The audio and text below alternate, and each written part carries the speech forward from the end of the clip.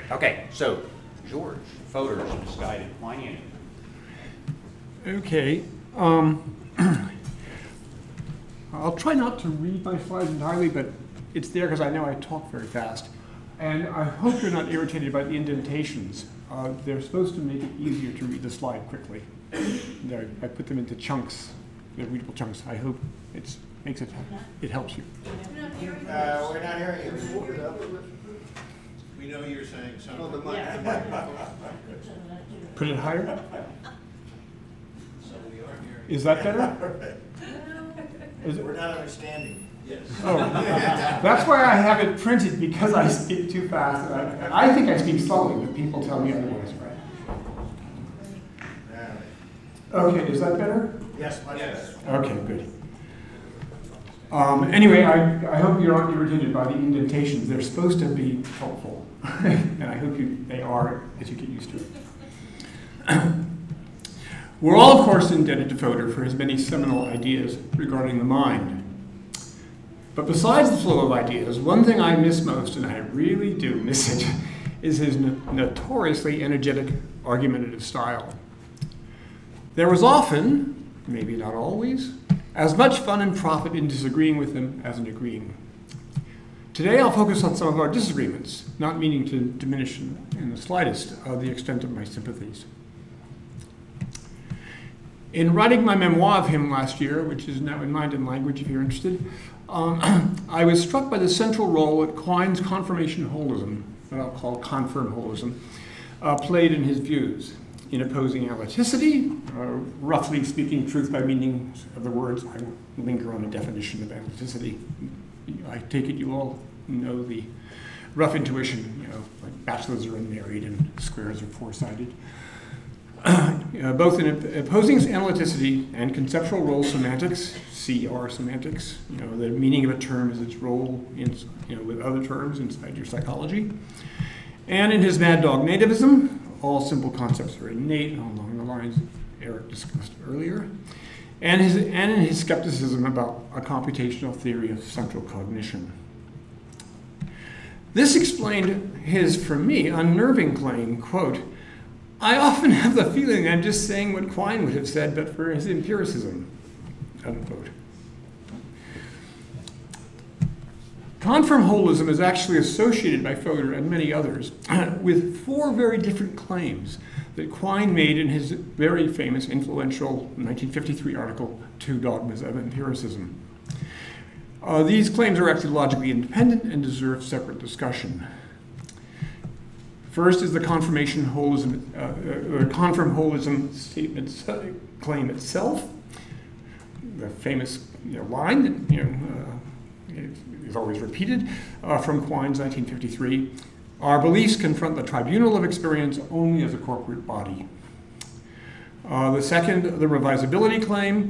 Every belief is revisable in the light of experience. Three, a really quite separate issue uh, about physical reductionism. Intentional terms, you know, terms of, you know, regarding meaning, concepts, and the like, must be definable non circularly in non intentional terms, i.e., reduced to physical terms. And four, an explanatory claim. There's no explanatory difference between analytic claims and common tenacious beliefs. The example I'll discuss has been much discussed in the literature right? Uh, Gerald Katz thought cats are animals is analytic, and Hilary Putnam said, no, it's not because we could discover they're robots from Mars. And so the question is, huh, right, who's right? Is it analytic or is it just a common biological belief? I'll discuss that in due course. I don't want to argue today that any of these claims is actually false. I think they all are, actually. But my concern today is only to deny that they support Quine's and Fodor's skepticism about the analytic and a conceptual role semantics. I'll not discuss the other supposed consequences, you know, nativism and uh, the impossibility of a computational theory of central cognition. Lastly, I will suggest that Fodor's own positive views about meaning, his asymmetric dependence, and intentional content would fare much better without them. Okay, firstly, confirmation holism. Our beliefs confront the tribunal of experience only as a corporate body. This is a view that Quine derived from uh, Pierre Duhem's uh, 1914 observation that in empirical sciences, hypotheses are not disconfirmed or confirmed in isolation, but only in conjunction with a great number of auxiliary hypotheses and background beliefs. I, I take it this is a fam- view familiar to most of you. What Quine importantly adds to Duhem, you know, which it's interesting to imagine what Duhem would have made of it, uh, is the claim that uh, it involves all of our beliefs, including logic, math, and analytic claims, which in fact would seem to be disconfirmed independently of experience. Quine never provides a serious argument for this extension, nor does he spell out in any detail how it could function. At best, he appeals to five virtues of hypotheses, as he calls them simplicity, generality, modesty, conservatism, falsifiability, that he and Joseph Ullian set out in a freshman text you know, on uh, introductory philosophy. Uh, these are good rules of thumb, right? But they're hardly a serious theory. In fact, when Quine was chided about this uh, in, uh, uh, in discussions in the 80s, he actually wrote, Oh, I treated it mainly at this very general level because I, I have known little to say of it that was not common knowledge. Okay? That was his only defense and as much detail as he provided about these virtues and his uh, global confirm holism. But it's hard to see why this common knowledge should have anything to do with ruling out the analytic. For surely we at least commonly suppose that confirmation preserves meaning. Observing a thousand flying sparrows had better not be your evidence that pigs can fly, simply because you've decided to let the word pigs mean sparrows. Moreover, Jerry argued in his, uh, in his famous 2000 book, The Mind Doesn't Work That Way, that if Quine is right, confirmation is uncomputable, since, as Turing taught us, computation is a local affair. Of course, Jerry thought Quine was right, and so he did a modus ponens and derived the consequent that computation, you know, that uh, uh, com- confirmation is uncomputable. But one could, of course, take it as a modus tollens and conclude that the Quinean account therefore can't be right, and that indeed the mind doesn't work that way, the way that Quine said it did. Anyway, all I actually want to claim now is that that's a wide open question. You know, I think it's really important to realize that appear- sometimes passing appearances of the contrary, nobody has a clue exactly how we confirm a hypothesis. It's a really interesting, deep question is you know, how do scientists and even in common sense do you confirm your hypotheses about the ordinary world? Whether it's holistic as Quine proposed, or it's you know uh, involves uh, presuming logic and mathematics as Bayesians uh, suppose. Lovely question. It's not going to be settled simply by philosophical reflection. Fodor actually thought of confirmation holism in a curious way. This is a quote from his and Ernie's book, and I actually don't know whether this is Fodor's view or Ernie's view, and he can speak, right? Right? Maybe it was his. Uh, uh, it is a posteriori, or an empirical matter, of what is in fact causally connected to what in the world, not a matter to be settled by a priori reason, least of all by reflection on the meanings of one's words or concepts. But if that's the view, that's confused. As Donald Davidson famously noted in his 1963 action, uh, paper, Action, Reasons, and Causes, causation is a relation between events, not concepts. And a, cause, a cause of X caused X is surely a priori, if anything is, okay? even if it's an empirical issue, just what that cause might be. Empirical relations among events don't preclude analytic connections between the terms that describe them. So it's just, you know, it's a mistaken right, uh, confusion, uh, and it's certainly a mistake to confuse that with confirmation holism. I think what Jerry really had more in mind was a second view Quine associated with confirm holism, namely revisability. All beliefs about the world, including logic, math, and supposed analytic truths, are revisable in the light of experience. Now, this certainly seemed to tell against at least a simple verificationist theory of meaning that was really one of the major uh, targets of Quine's attack in the 1953 article. That's really what you know, his, his, one of his two dogmas of empiricism that he was attacking. You shouldn't tie any claim to any specific verification since, to put in a nutshell, who knows what tomorrow's researches might bring. But verificationism isn't the only theory of meaning, and as Fodor and Ernie pointed out, it's hard to take Quine's claims about revision seriously without some account of meaning. Quote, it's no news that you could hold on to burning is, I should, should be that burning is the liberation of phlogiston in the face of Lavoisier's result if it means gray cat has whiskers. Okay. Again, you've got to keep meaning constant, both in the holism case and in the revisability case, if you're to make the, uh, uh, uh, the proposals make any sense. Moreover, Quine surely means something more than banal fallibilism. Experience could show we're wrong about anything, doing sums or using our words. Clearly, what Quine intended, and I mean, this is an interesting uh, you know, suggestion he made, you know, he intended is that any belief can be rationally revised, right? Both in the case of belief revision, but also in holistic confirmation. So you're supposed to, you know, he's imagining that you can do this rationally. By the way, it's really important in thinking about Quine to remember that he actually has a very unusual view that almost nobody takes seriously. But he did. Okay. For him, belief wasn't what you think it is, right? Namely, you know, the state of not, a, belief, uh, a belief was not what you ordinarily think it is, namely, a state that combines other beliefs to you know, patterns of reasoning. Belief with him, for him, was a disposition to say yes or no to certain you know, phonemic sequences. He was deeply, and I think, if I may say this, intelligently and sort of scrupulously, he tried to be a behaviorist. and there's a way in which he's charming because he pursues it to its bizarre end. But I think most people who read Two Dogmas don't realize that, and they don't notice, right, the oddity of some of his views.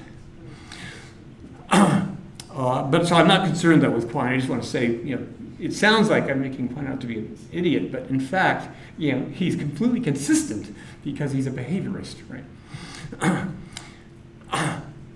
but anyway, uh, if he does, if it is a matter of rational revision, we are owed some account of the standards of reason and how they might be applied to mere sentences, mere strings of phonemes for Quine, that don't have specific meanings. Since notoriously, rational inductions, uh, for example, can't be spelled out purely syntactically. In sum, Quine's appeals to confirm holism and to revisability both presuppose the reality of meanings, and so don't undermine it, right, the reality of meanings, as Quine thought.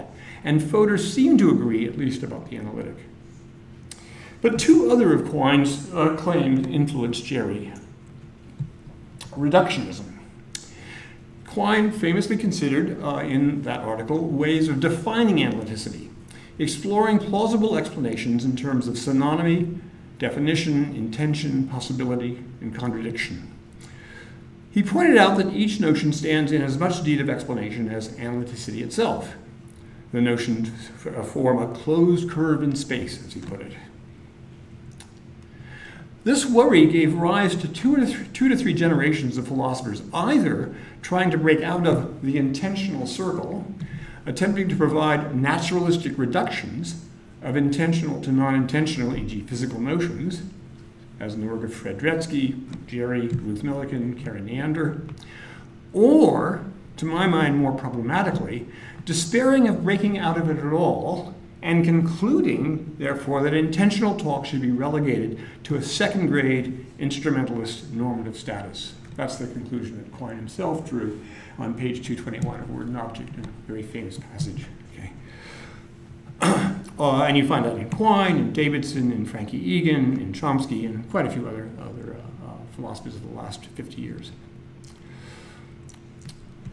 But these responses, I actually was under the spell of this you know, reductionism myself until recently when I just thought, wait a minute, right? This is odd because these responses fly in the face of technical work of Frank Ramsey that's very well known in the field in the 1920s, and it was souped up by David Lewis in the 1970s, called Ramsification. I won't go into the details now. I just, you know, it's essentially, you know, a way whereby one can formally define many theoretical notions all at once, as in Shoemaker's Felicitous phrase, package deals, You simply take the whole theory and you one by one say, look, right, you know, the, the, the meaning of, of, you know, electron, positron, pi meson, and so forth, they're all defined together as a whole package deal. It's a theory of physics, right? it's, it's actually a, a nice memory I had of learning this was in high school when after my physics teacher, you know, we went through weeks and weeks of all the laws of electromagnetism, you know, I being a, you know, uh, uh, irrepressible philosopher said, yes, yes, that's very nice, Mr. Koenig, but what is, what is electricity? And he looked at me blankly and said, I've just told you. Right? Do you want me to go over the theory again? right? And I, I, was really a moment of illumination. I said, oh my God, that's right. Gee, I guess you could define it in just implicit, as I say, implicitly, in terms of the whole theory you've been provided. the acceptability of any one term dep- depending on the explanatory power of the containing theory as a whole. In the case of psychological terms, one should look for their adequate definition via ultimate theories of the mental processes that use them and ramsify away, as one says. I mean, ramsify has kind of become a verb now in philosophical English. But psychological ter- uh, theories are hardly in a state to do this yet. And so, what's the rush? Whether the definitions are ultimately satisfactory depends on whether those ultimate theories are and we're not in a state right, to decide on the ultimate theories of psychology by any means. Why shouldn't meaning and other intentional notions be ultimately defined in this way, just as Fodor and other functionalists proposed defining other mental terms like belief and desire? The intentional circle had been noted in the 40s, and, you know, from now, sorry, in the 50s and 60s, as yeah, there being a, a circle we tried to try to belief in terms of non-physically, you'd have to use desire, and desire would have to involve belief they noticed, yeah, it was a package deal, right? And my claim is, yeah, why not include intentional notions you know, with the package? Quine's reduction challenge to meaning therefore amounts to little more than skepticism about intentional mentalistic theories as a whole, which is fine. I mean, yeah, he was skeptical because he thought he had a better theory, Skinnerian behaviorism. Okay? And, you know, I mean, to his credit, he really tried, he really thought that, and he tried to work it out for better or worse. Needless to say, that was not a view shared by Jerry. But though Jerry was also too much under the spell of the reductionist challenge, he reasonably thought that Quine presented a further challenge to at least analyticities and conceptual role meanings that went beyond behaviorism. And I think he was right in this. This is the last, and I think it's really the most important of Quine's challenges, namely an explanatory challenge. What is the best explanation of phenomena that seem to invite conceptual role meanings and the analytic? The analytic was originally recruited by the logical positivists to explain knowledge of logic, mathematics, and philosophical analyses. And Quine, both in his 1953, but in his much, much better paper, Up in Logical Truth, in 1956, uh, which everyone should read. It's a classic, it's one of Quine's best papers. Uh, he raised lots of arguments that gave at least positivism pause, right? Really are knockdown, really incisive arguments against the logical positivists' uh, proposals.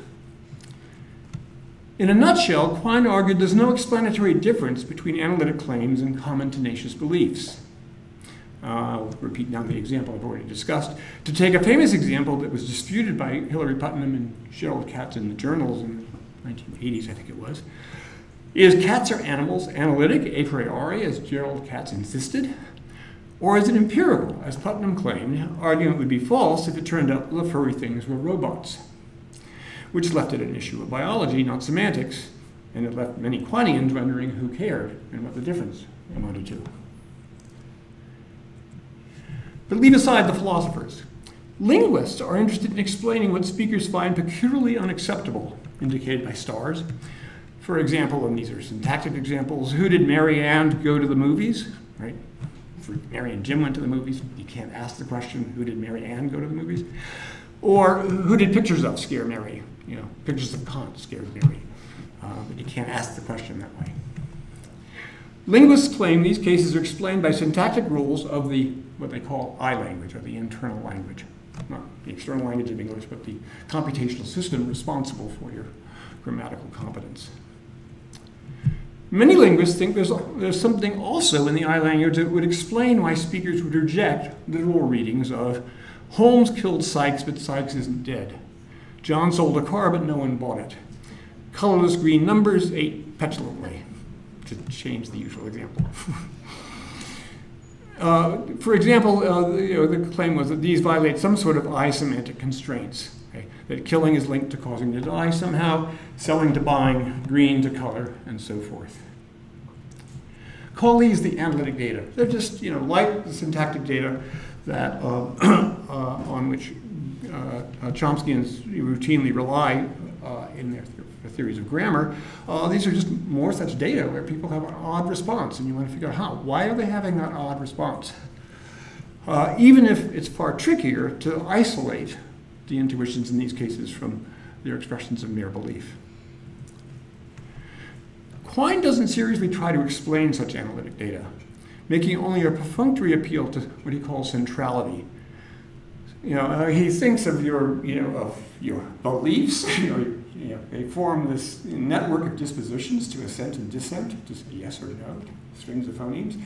Uh, you know, it's a vast, vast web, and that's all there is, because we don't look inside. We don't look inside how, you, how you're you know, processing or doing with these sentences.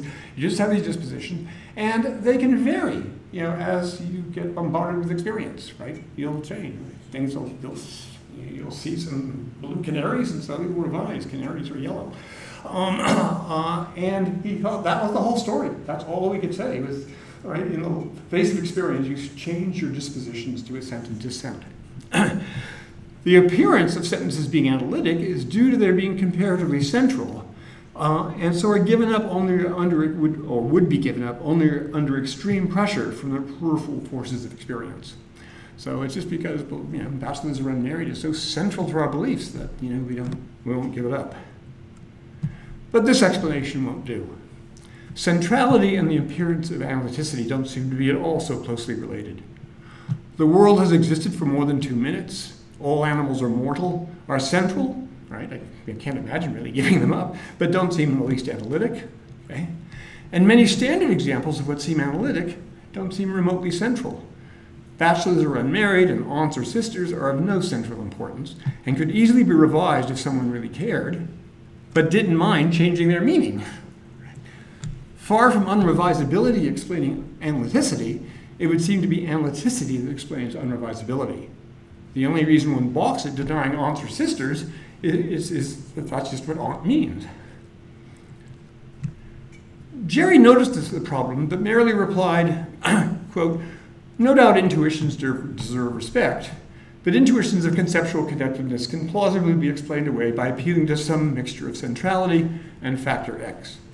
And as far as I know, there is nothing in philosophy aside from these raw intuitions that seriously suggests that content constituting conceptual connections exist. Jerry provided uh, many, over the years, many uh, uh suggestions about what factor X might be. Uh, they were ceteris paribus conditions. They had to do with syntactic structure. I think um, uh, uh, uh, Eric went over a number of the suggestions today. I think it was Eric. Um, uh, and uh, in the most recent work with Zen and uh, these so-called halos. I don't want to go through each of his suggestions. I don't find them, you know, very many of them very convincing at all. In, but in any case, I thought for such an empirical question, okay, you know, empirical question on all fours with other questions that linguists ask about, ask about unacceptability reactions, you wonder why Jerry left it to philosophy to provide it. Indeed, I'm surprised that Jerry never took up a suggestion of Chomsky that goes way back to 1954 and his terrific LSLT, you know, the logical structure of linguistic theory, which he wrote in 1955 um, as well, and then he reiterated in many papers in the 90s that were gathered together in the 2000 volume, that treats the meaning issues that concern linguistics as not determining reference and truth conditions at all, much less truth by virtue of meaning. They serve rather merely as instructions. Uh, sorry, it would be instructions to the I language. Uh, sorry, no, instructions that the I language makes available to our conceptual system when it turns that faculty to express thoughts. So the idea is you've got this I language in there and it produces lots of structures, right? And oh yeah, we're you know, smart people and we say, huh, that's nice, I can use that to express my thoughts and communicate my thoughts. Um, and it's that use, right? It's the use of those structures made available by the I language that gives us um, uh, tokens of sentences, if you like, right? Uh, that uh, have reference and truth conditions. But you shouldn't think of the I language itself as producing the uh, items with the, the properties of reference and truth conditions by themselves. Of course, as those here at Rutgers likely know well, Paul Pietroski, in a series of, I think, extremely uh, nice works uh, beginning in 2005, has been developing the suggestion for some decades now, as have many others in their own ways, analogous ways. For example, Sperber and Wilson, going back to 1986, Robyn Carston, and Francois Recanati. They're variants of a, a similar idea. of course, Jerry, like Quine, would have wondered what distinguishes a rule, treat Fs as G, uh, that's an I language instruction, from simply an entrenched belief that all Fs are G. Now, I don't pretend to have a full reply, but I do think we at least, uh, can at least lay out a strategy for a reply, or anyway, a suggestion about where to look. Specifically, to Jerry's own asymmetric dependency account of content. Roughly, and I developed this at greater length in my book, uh, forthcoming, um, but roughly, a symbol has the content it does if the non content determined tokenings of it asymmetrically depend upon the content determined ones. E.g., calling John a bachelor depends upon calling unmarried males bachelors, but not vice versa.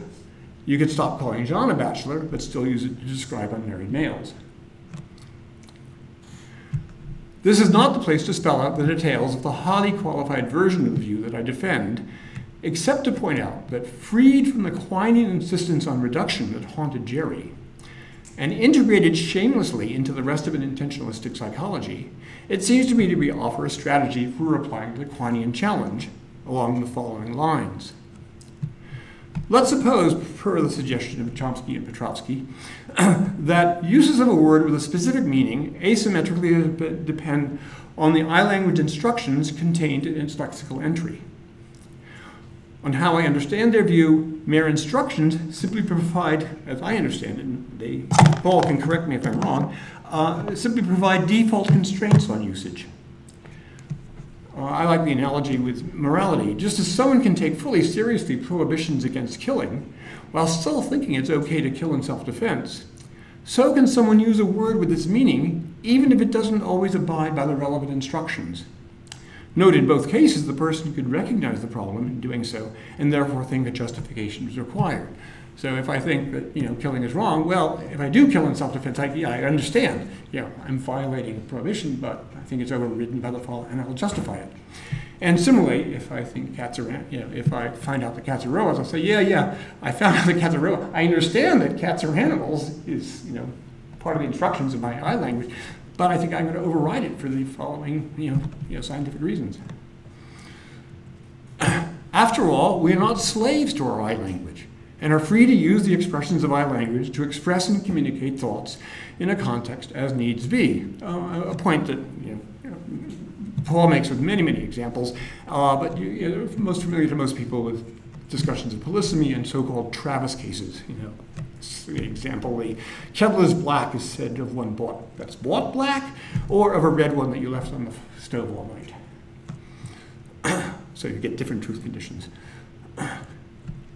Consider again, maybe, I hope this is the final time, the, the Katz Putnam dispute about cats. Maybe for some reason our animals got baked into speaker's I language instruction for cats. Okay. By the way, I should tell you, I myself don't have you know, the deepest and firmest intuitions about the analytic and synthetic. I think they're quite subtle and difficult to sort out. And I don't trust my, you know, just immediate intuitions. But I, I see the pattern, right? And I think there's something to it that needs to be explained. So I'm not standing by the cats are animals, but you know, there was Gerald Katz, you know, arguing to the uh, to the wall uh, that um, uh, animals was part of the meaning of the word cats. Um, so maybe for some reasons, our you know, some reason, our animals got baked into speaker's I language instruction for cats, giving rise to intuitions that cats are animals is analytic. Does that mean that confronted with Putnam's robot cats, we have to deny this? No. we can say that experience suggests that cats aren't animals despite their I semantics, just as killing is all right in self defense.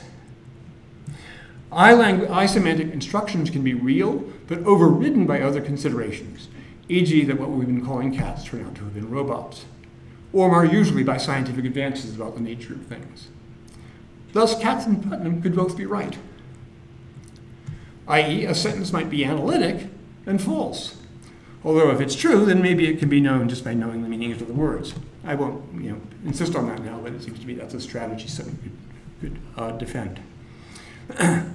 this might be disappointing to the logical positivists who wanted inconvertible knowledge of logic and mathematics, but it still might perform the linguistic work of explaining analytical intuitions, analytic intuitions, better than either Quine or Jerry did. But in a way that Jerry, with his asymmetric dependencies, should have otherwise welcomed. Freed from the Quinean demand for a reduction of the intentional, and taken inside and treated as a clause in otherwise explanatory psychology, Jerry's asymmetric dependencies offers a promising strategy for replying to Quine's challenge. I should say, I mean, I didn't want to go into detail here. Uh, this suggestion, um, it's interesting the history here. Uh, you know, Jerry proposed the asymmetric dependency in 1987 and developed it further in his 1990 book. Uh, and then, quite independently, someone who one wouldn't associate with Jerry remotely, um, uh, you a much more Wittgensteinian sort of conceptual role theorist, Paul Horwich, he made essentially the same suggestion in his 1998 book, uh, Meaning, and then fo- followed it by his 2006 book, I think it is, um, uh, Reflections on Meaning, where he says, yeah, the uh, meaning constitutive conditions are the ones that are explanatorily basic, on which the other ones depend. Okay? So uh, in my book, I try to work out, you know, a, a version of, that combines both Horwich's and Jerry's views. Uh, and I think, and what I argue is that that offers a promising strategy for replying to Quine's challenge about how to distinguish uh, analytic claims from mere common beliefs. Or anyway, so I argue in my forthcoming book. But that is mercifully a topic for another day. This is all for now. I must say, though, I do wish Jerry were here to reply.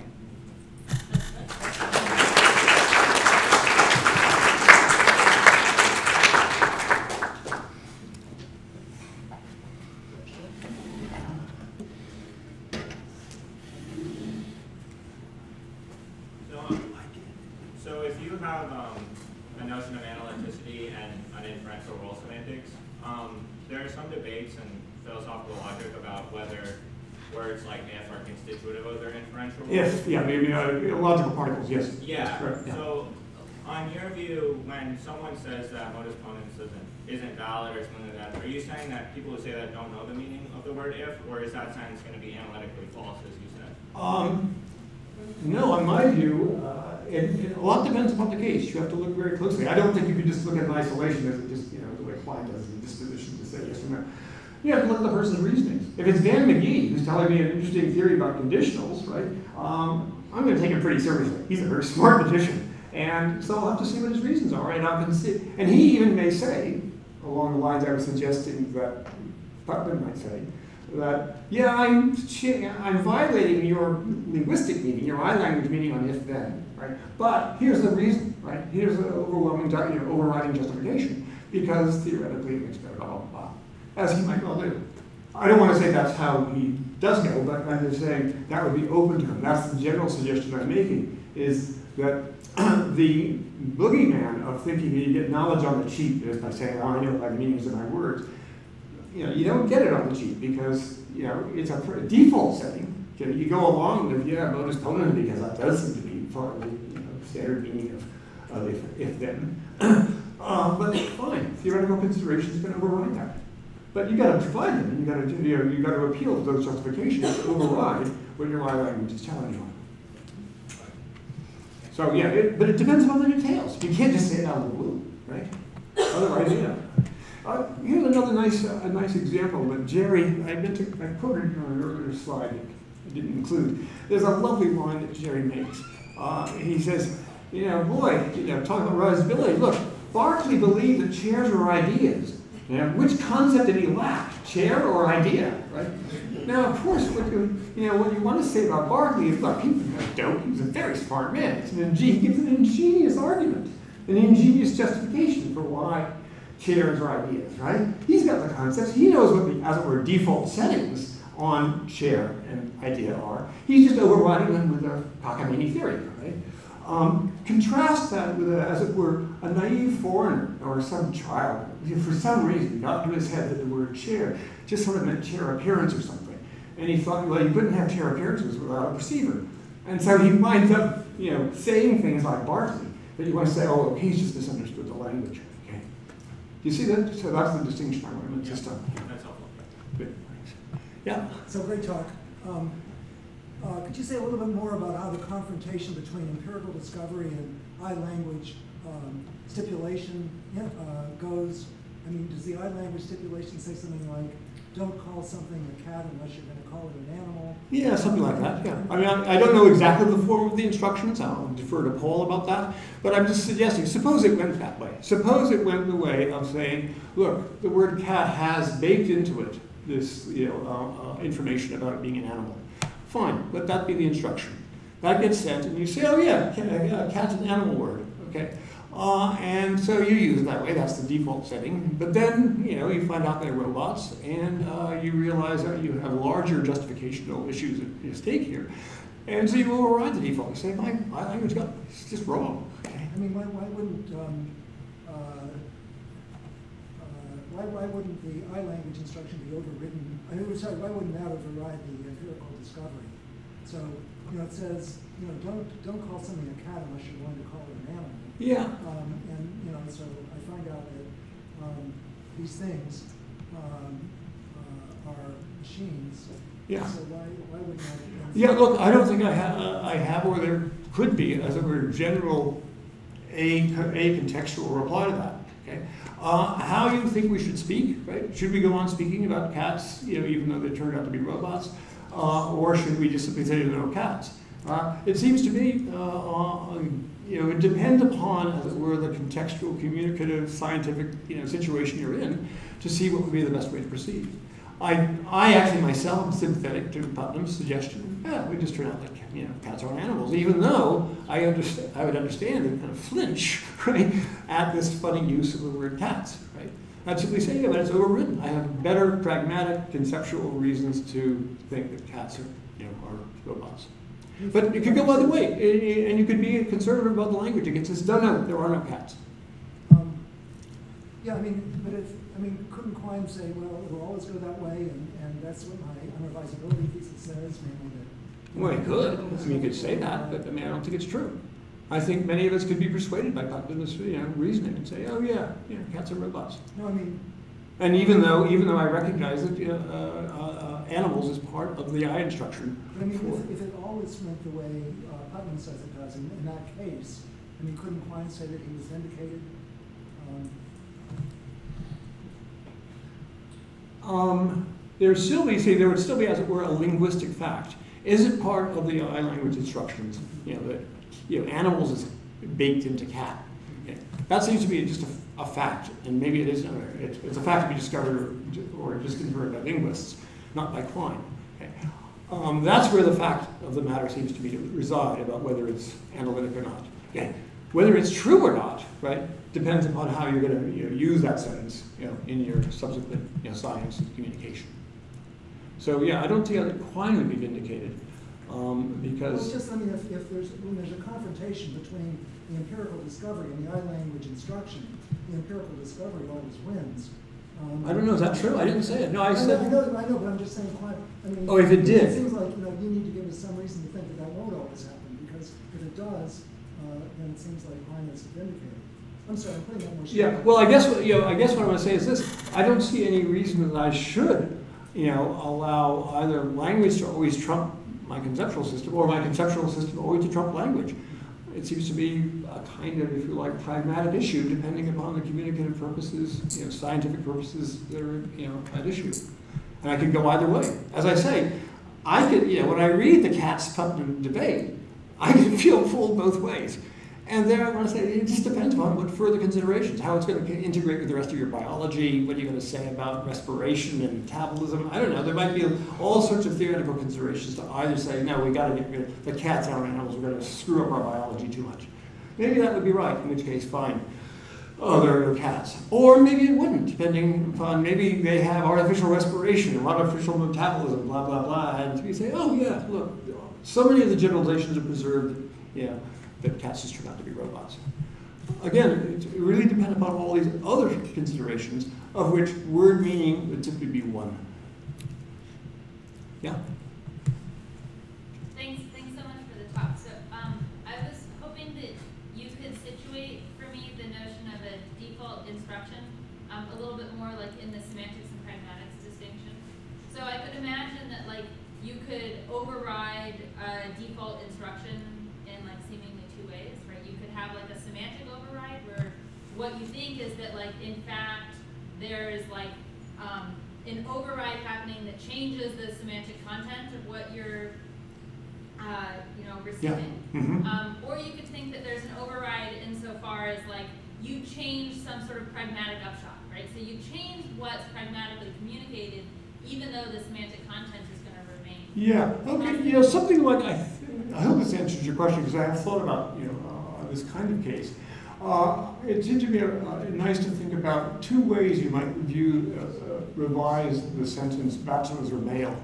uh, Putnam describes it one way in his famous article, Animal Synthetic. You find out all bachelors have a certain erotic right, syndrome, and you know, so many of them do that you know, you now let the, the word bachelor migrate to this natural kind of neurosis.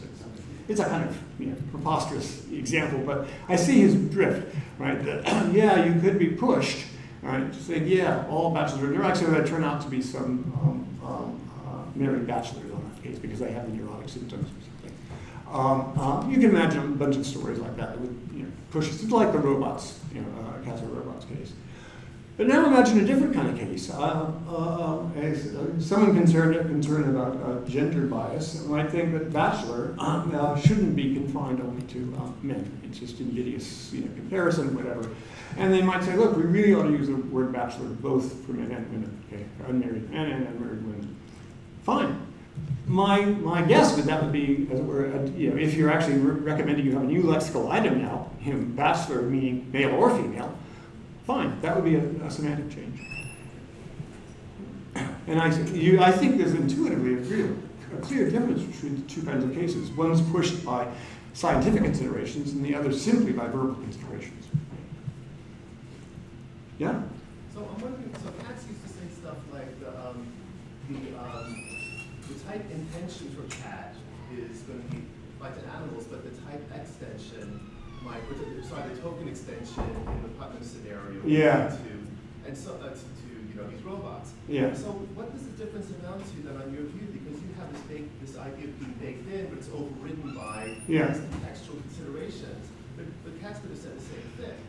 Um, that's interesting. I hadn't, I hadn't actually thought about that specific question and uh, whether, how would Katz react to the proposals I'm making. He doesn't, I think, make the kind of, you know, the Chomsky move here, distinguishing, right, I language semantics from truth conditions and reference.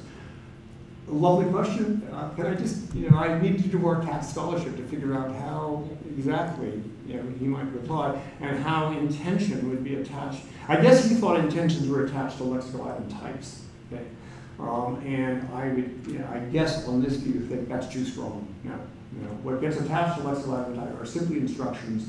You get a full intension with truth conditions and so forth only after the conceptual system decides now to use this linguistic structure in one way or another. But nice question. I haven't thought about that yet.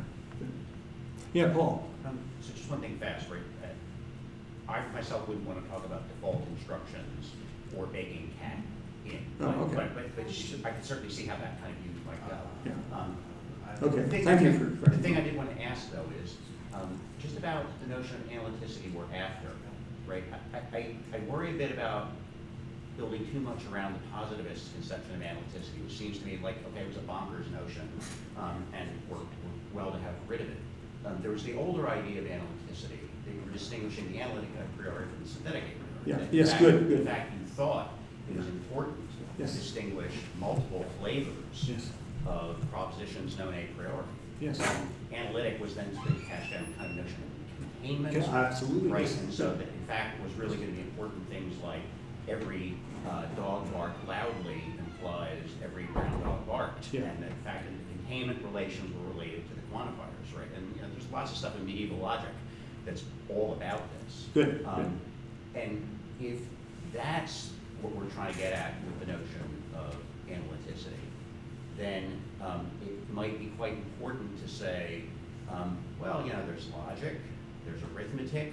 Yeah. um, Within logic, there's classical logic and like sort of how to reach it. And so, you know, it's meant to be sympathetic with what your, uh, the general spirit, that it would then be an empirical question um, to think about how much that we now regard as the a priori broadly construed, and even how much we now regard as logic. So to say, when you're having a discussion with Vann, how much of that really deserves to be called analytic in any kind of natural containment sense? Spot on. I, you know, and I, I'm sorry if I've got your own view wrong about the instructions. You can correct me about that later. Um, but you, you agree this is a possible view. It's, no, no, it's an impossible. Um, but uh, I like your second question. I've been thinking about it quite independently of this lecture. Uh, that you know, because I, I really have a lot of admiration for Kant, uh, and I'm thinking, what is he getting at? What is he getting at? And as um, John MacFarlane pointed out uh, in, a, in a lovely article uh, about 10 years ago, um, you know, it's not clear that Frege really refuted Kant because, you know, Kant thought it was sort of true by logic and containment. I mean, you know, these simple analytic truths. And when Frege comes out with logic, wow, it's a lot more powerful than containment. And it's, it's you know, second order logic with all sorts of very powerful principles. It gives you an infinitude, it generates a potential infinitude of, of, of logical truths. And as MacFarlane points out, Klein would have thought that's pretty synthetic, right? I mean, you're using your imagination to synthesize more and more complex structures. I'm very sympathetic to that. I think that's, yeah, I think Kant was insightful about you know, an issue here. I'm not quite sure how to spell it out in the end. But that's an insightful distinction. And so, yes, I would say the analytic truths were simply ones you could spell out by you know, some kind of containment. I think Jerrold Katz actually has that view too, right? Uh, if I remember right. You know, he says that Kant was right about containment and not just about logical consequence. I mean, just any logical consequence. So that's right. And then I'd like to say, yeah, so it turns out that, you know, it's more complicated than Frege and positivist thought that it may well be that part of our a priori knowledge is synthetic, has to do with the principles by which our mind combines ideas uh, in certain necessary ways, maybe. Uh, and the analytic is only a tiny subset having to do with the instructions of the language faculty. But nice point, thank you. Yeah. So in the cases where we. Could you speak a little louder? Sorry, yeah, sure. In the cases where, um, we violate the default instruction, Mm-hmm. are those all cases where, is it possible to keep the same term but change the instruction? Yeah. Or, Yeah. okay. That's what I was thinking about with the bachelor example. I was thinking that you could revise bachelors on male in two different ways. You could do it because of the funny Putnam scenario of finding out there's a nearest natural kind of neurotics, right? That turned out to have some married people in them. Um, or you could do it because you think as a matter of policy, we don't have a new lexical item. Instead of using this old lexical item, which was gender coded, right, bachelor for male, um, uh, or male for bachelor, right? uh, we should use a, another lexical item, bachelor. You know, we should use the same phonological form, but now, you know. That's um, the case I was clear about. So Yeah. then you're, you're introducing a new term, it's not held hostage. That's right. Yeah, yeah. It just becomes a new lexical item in your own language. Yeah. So then the, the, the former I language rules don't apply. to That's that, right. Right? But Well, about in other cases where, no, we're using the same term, it's just now, there's a real shift in the I language or something, that instruction. Yeah, well, now it depends on how you're going to individuate the lexical items. And offhand, I, you know, I'd be sympathetic offhand to thinking you individuate the lexical items by the set of instructions, right? By syntactic and, and semantic combinatorics, right? That's what identifies a lexical item. If you change that, you got a new lexical item. Be- Why? Because that's what the theory is talking about. It's talking about lexical items and you know how they combine. Uh, nice question. Yeah, uh, let's see. 'cause Somebody hasn't had a chance. Yeah. So when people, like Chomsky especially, talk about like I language instruction concepts, uh, he often uses that to actually undermine the idea of truth conditional semantics in general. And Well, I know in general, at least, yeah, I mean, he's skeptical maybe further about pragmatics and truth conditional semantics, but at least at this point, uh, uh, one could be neutral about that and say, I'm just separating the work of the Well, I I'm not sure that you, I'm not sure that you can because, you know, I kind of the a lot of the kind of program of this kind of natural language metaphysics involves taking the I language instructions as involving these kind of sort of patently false but cognitively useful um, ways of thinking about the world. That you know, when I serve dinner at six o'clock, the event is instantaneous, or when uh, I rearrange the furniture in the room, the furniture is infinitely divisible stuff, and that sort of these conceptual instructions don't actually aren't intended and don't work to kind of ground out in empirical inquiry of the kind that kind of Uh, well, right, okay, look. I'm not sure about your examples, I, I find them a little startling, but, but fine. Uh, uh, suppose you were right, uh, the I language instruction had some really batty, right, you know, uh, uh, conditions baked in. Uh, fine, you know, our intelligent adult selves would say, huh, yeah, we got these items. It's a little like the sky is blue. I mean, my, one of my favorite examples, where, you know, what the hell are you talking about this, what's this thing, sky? Yeah, but my language talks about, oh, the wind blew the, you know, you know blew the uh, door down. Well, it didn't blow the way a wolf does, but, uh, but fine. I notice with some, maybe some bemusement what my I language, you know, supplies to me. And I just say, yes, screw it. I mean, I I'm a slave to it. It's interesting with my language. uh, My I language has me do all sorts of things. I can't say who, you know, who did the picture of Scare Mary. I know exactly what I would mean if I said it, but okay, my language just says, no, no, no, you can't say it that way. Okay, okay. Uh, maybe I'll even adopt a practice of saying it that way if I could, um, depending, right? So I'm not a slave to my I language. If my I language tells me batty things, which it might well do, I'm free to ignore it. I mean, I'm free to ignore it while still maybe saying, I'm still using that lexical item though, and I feel the pull. I see, you know, in, in communication, I may think, yeah, I'm using that lexical item because I know that's the one you have, so I'm going to stick with it, even though I think, yeah, the, some of the instructions are batty. Nice. Yeah. So, um, uh, again, I really like uh, what you're up to, but I, I, I'm having, I, um, I don't know much about I language, and I, I I need a little more help. Um, uh, so, um, uh, consider an I language instruction not to apply cat to something unless you're willing to apply animal to it. Um, and compare that with the belief that all cats are animals. Yeah. So, um, what are the uh, uh, empirical predictions that, that on which these differ? Um, okay, um, uh, I'm not, you know, going to pretend to be able to think up good experiments on the top on the fly here, but um, as I see it, it's a little like the difference between somebody who kills with indifference, okay, you know, goes to a war or kills with indifference, and other people who kill, but they think I, I, mean, I have to have a justification for this. This is, and that's why why the person in the latter case is affected by you know some kind of you know principle in his moral faculty that says, don't go around killing people, right? right? You know, thou shalt not kill or something.